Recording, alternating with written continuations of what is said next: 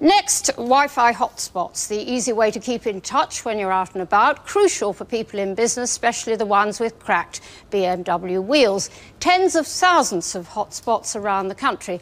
But something you mightn't know about those hotspots, they are not secure, which few users seem to realise. To prove it, we persuaded two people in the audience to meet us in a well-known coffee shop Unbeknown to them, it took seconds to hijack their email accounts. As a result, I've received some emails. This one says, Dear Anne Robinson, I've been asked to take part in Watchdog, but I find you rather rude. I'd much rather be in the audience of Strictly Come Dancing with Love.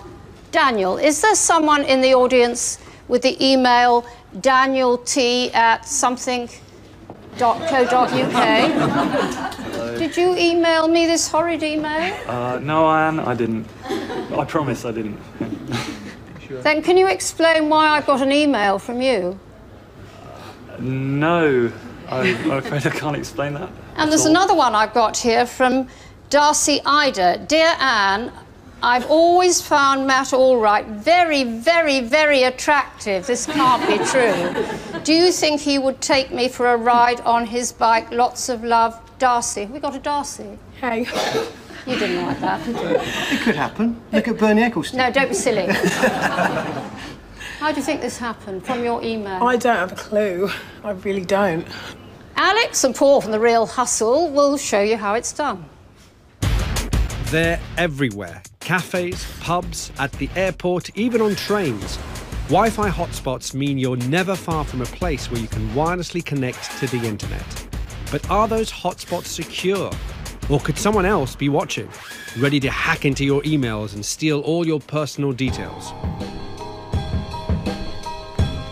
Daniel here is going to help us find out. He thinks he's come for a meeting about being in the Watchdog audience. All he knows is that we're doing an item on computers, which is why he's brought his laptop. He doesn't know he's being filmed, so he's innocently logged on to the cafe's Wi Fi to catch up with some friends. What's happening on Facebook? Anything? I know, I've gone onto email. Daniel has no idea we're about to take control of his internet account. His friend does, but he's not letting on. Yeah. In a hidden room nearby, we're waiting to strike and outside the cafe, the man who's going to help us do it.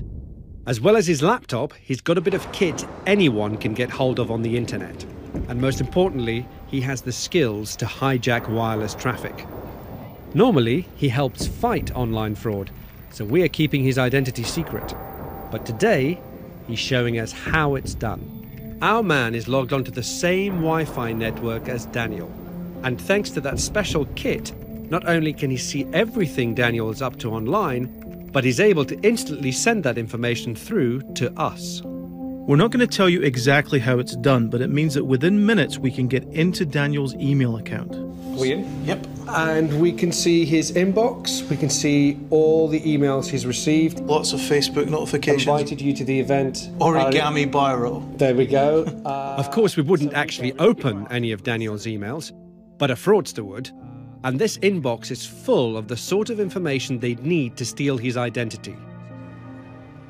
Daniel hasn't got a clue what we're doing, or that now we can even pretend to be him.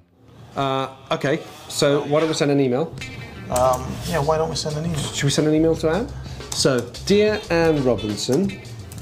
Okay, so we all know what the email said, and it's just a bit of fun. With love, Daniel. And putting a couple of kisses at the bottom. Oh, I think more than a couple. Oh, more than a couple, go on. And send.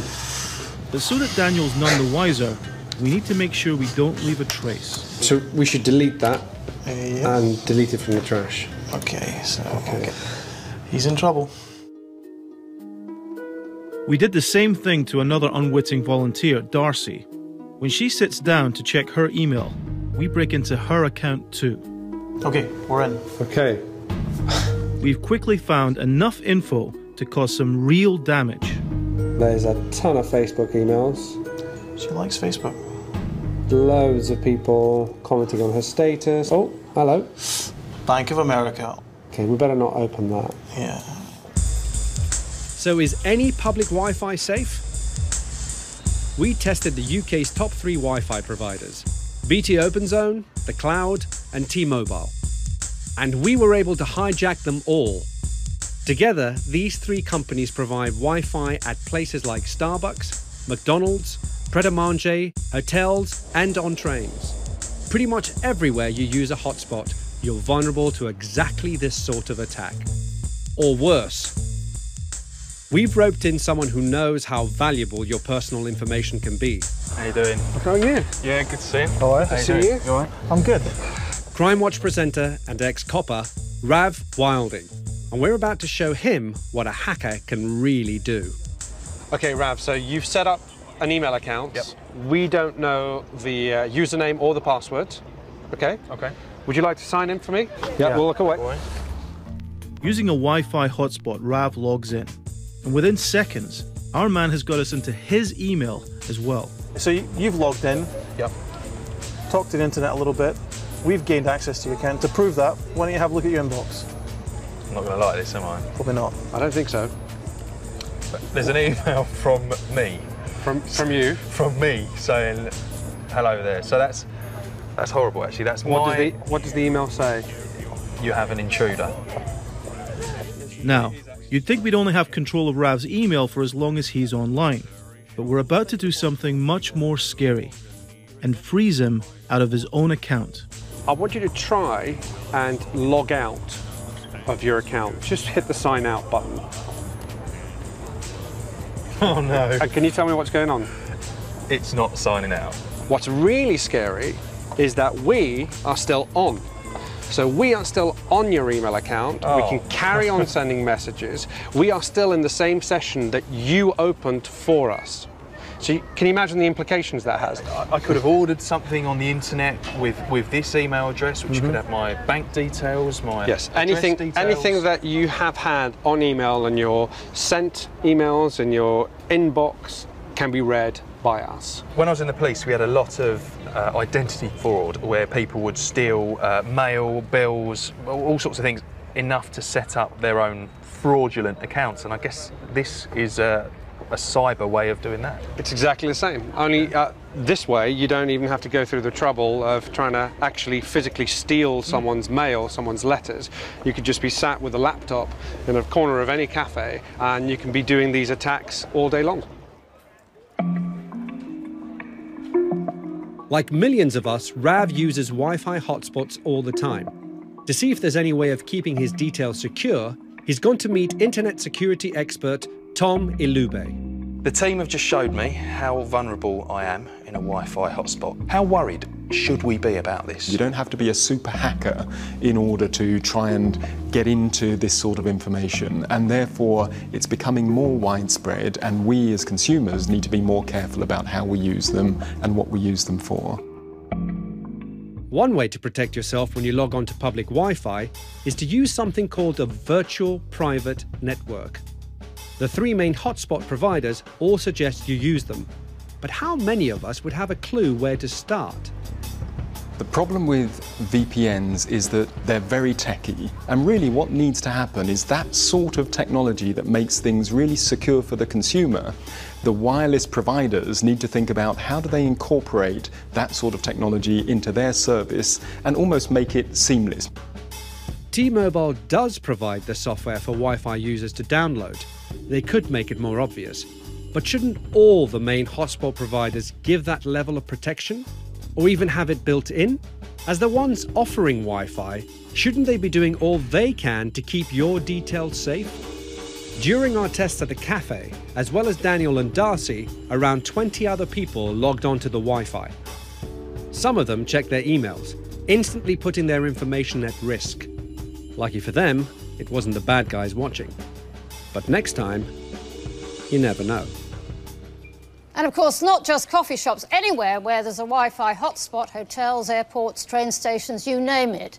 Rav, you were taken by surprise. What have you since learned about cyber crimes? Well, they're both serious and on the rise. There was nearly 20,000 reported cases of this sort of thing happening last year compared to just 6,000 the year before.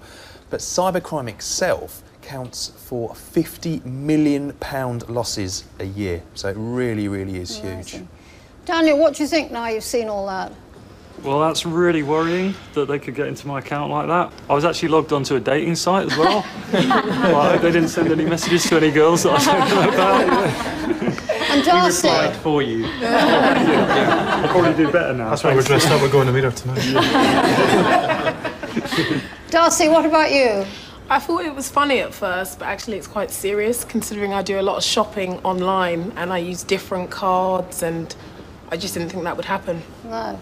Anita, Whether companies are providing email or Wi Fi, they've told us they're aware of the risks, and at least now we're aware of them too. T Mobile say they've now made clearer how to download the software that can make Wi Fi more secure. The other main providers, BT, OpenZone, and the cloud, say they're looking at ways to improve customer protection, but all of them ultimately say the responsibility rests with the end user, so you, not them. Their response is in full on our website, bbc.co.uk slash watchdog, along with details of what you can do to keep your laptop secure. Alex and Paul, I mean, don't you feel they, there should be an obligation to warn people in There is, Anna, you're right. It should be made a lot clearer that you do stand a risk. But the moral of the story is that if you're in a public Wi Fi or hotspot, do not go to any websites that require you to fill in a password or a login, a, a username, because those are your personal details and you're making them available for people like us to um, steal. And presumably not log on to your emails, isn't that? Well, if you do log onto your emails, it's really important that you try and sign out properly so that you don't leave your session active for someone to continue using. But, but you've still got a danger while you're logged on. Yes, you do. Absolutely. And, you know, we can block it so you can't log off, but you should recognize that as an issue right away. If you haven't signed out of your account, then you should be aware that someone could still be active within your account. It's also important to contact your internet provider and find out what level of protection they can give you from your actual internet provider at home. Whoever gives you your email account, they may be able to help. Okay, thanks, guys.